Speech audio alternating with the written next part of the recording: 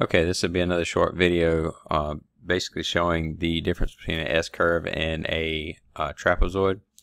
So uh, again with this trapezoid uh, we want to talk about and make sure we are acknowledging the fact that the uh, acceleration jerk has a great factor in the um, speed um, or the, the, acceleration and deceleration of a servo. The uh, the best illustration of this is an MAM um, and I'll show you that because it, the MAM instruction will tell you're going to move to a set position and then you're going to stop, right? So you're telling the, the servo to start and then stop. So the acceleration that you have in here and the acceleration jerks um, and deceleration jerks are going to be used used to the full extent. So in the current profile that I have in here, um, the decel jerk and the accel jerk are set to 25 the accel rate um, I could change that right? That accel rate is I'm, I'm gonna put it at 1000 um, and then we'll, we'll show that being run. Okay so what I'll do now um, and again this is an S curve right? And then I have my acceleration jerk deceleration jerk at 25 so it's, it's pretty low.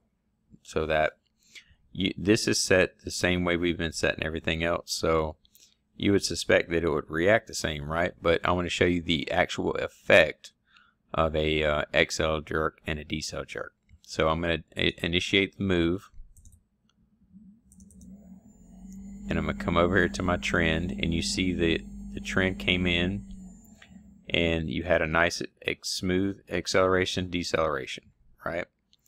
So now let's do the same thing and let's uh, let's change the accel jerk and decel jerk. Let's put it down to 10. Now we're not going to mess with the accel rate or anything. All we're going to do is mess with the accel jerk and decel jerk. So I want to I want to actually you know show you the effect of this. That this this is definitely part of the equation. Okay, so you see how that had a lot more uh, had a lot longer acceleration, a lot longer deceleration. Now, let's let's prove that out even further. So now let's take that number to, for instance, let's take it to 250, right? So now we have our accel jerk and our decel jerk at 250. So we, we just moved it uh, basically 25 times what it used to be. So this should this should really affect highly affect the uh, the trend. Right, so you see how short that S curve was, and it's now it's over. So you see how short the S curve was, and the only thing we changed again was the uh, acceleration deceleration jerk we didn't we didn't mess with the accel rate or the decel rate.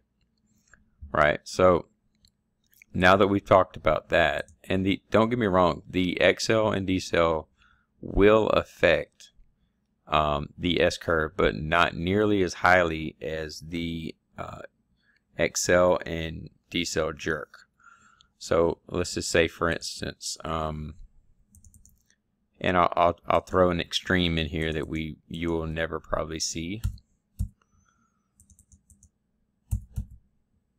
Okay, so let's do this. Actually, let's keep that just like it is. And I'll, I'll let you see that. So we didn't mess with the S curve here, or we didn't, we, I'm sorry, we didn't mess with the accel jerk, decel jerk. We messed with the uh, accel rate and the decel rate. So now we still did affect, we still did affect the um, movement, right? We still did affect the way it starts and the way it stopped. Except you didn't see such a S curve in here because the S curve itself was really, really sharp. So the S curve, look at the the the acceleration jerk and the deceleration jerk, almost like as sharp as the closer you get to, um, you know, like being a thousand or something of that nature, then the closer you get to being um, you being as sharp as as a trapezoid. So now let's just throw it in a trapezoid. Okay, so now we're going to do the same thing, throw it in a trapezoid. and I show you the exact same thing. So now we don't have an decel jerk, decel jerk at all. So you see that profile looked just about the same. Okay, so now let's do the same thing, except let's lower, oh, I'm sorry. Let's take this to 100. This to 100.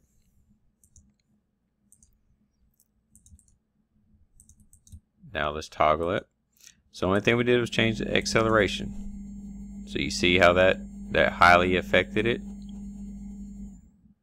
and all we did was change the acceleration. So you see how dominant the acceleration is in a trapezoid and how not so dominant it is in an S-curve. So now let's show that same profile in an S-curve. So granted we're using a 100 for our accel, accel decel and our XL cell jerk is a 100 or 2, 250. So you see we still, but we did have more of an S curve in that one. Because the S curve happens when you slow down and when you speed up, right? So in the, uh, in the speed change. So now let's change the accel, accel jerk and decel jerk to 50. And we'll see the exact difference in that. Okay, so now let's do that. So you see that now we we starting to we're starting to affect the acceleration deceleration a lot more, and the S curve is a lot more drawn out because that's that's really where you're what you're changing because um, you have a new dynamic inside the equation to actually do, tell your servo to do you know go to that speed is because the S curve incorporates the um, accel jerk and decel jerk. And again, the lower the numbers you have, the longer it's going to take to accelerate or decelerate. Now, on the counter side to that,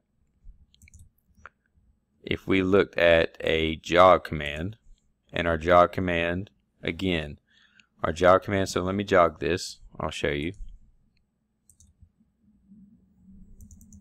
Okay, so we have a nice smooth S-curve, but now on a jog, if we do a stop, we're going to stop and we're not going to have that nice stop transition. And that's because a jog is not a start and stop command. You have to actually have a separate stop command. So, other words, this jog is just telling it to start, telling the servo to start. It's not commanding it to stop or anything like that the stop command is is is done basically in a separate uh, instruction. So depending upon how you have this instruction set up, that's how the stop profile will be. So I wanted to kind of I wanted to illustrate the separation in a MAM and a jog. Is the jog is just a start, the MAM is a start and a stop. So you this is why I chose this to to show you the difference and the uh, how to how to use an S-curve a little bit better because um, the MAM actually shows a start command and a stop command based upon you hitting the target position, right? Okay, so um, hopefully that cleared up a lot to do with um, you know you know how to how to adjust the S curve, um, the difference in trapezoid and S curve, and kind of showed you uh, you know a couple of key key components in that. So um, with that said, I just want to kind of wrap that up and uh, hopefully that, that kind of made some ties with you and kind of help you understand the difference in instructions as well. So we'll just keep on with the training and uh, hope everything is going well. And again, if you have any questions, just feel free to reach out to me.